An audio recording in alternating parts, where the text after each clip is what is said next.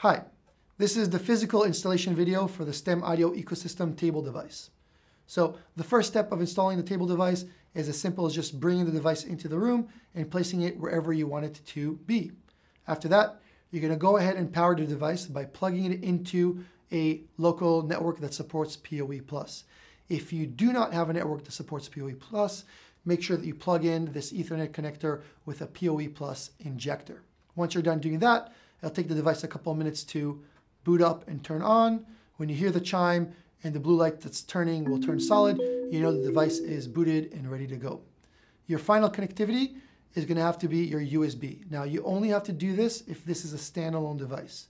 So if this is a, the only device in your room, you're going to go ahead and connect your USB-B connector directly to your PC that's running your video conferencing. If this is not a standalone device and it's one device out of a couple devices in the room, then you're basically done with this.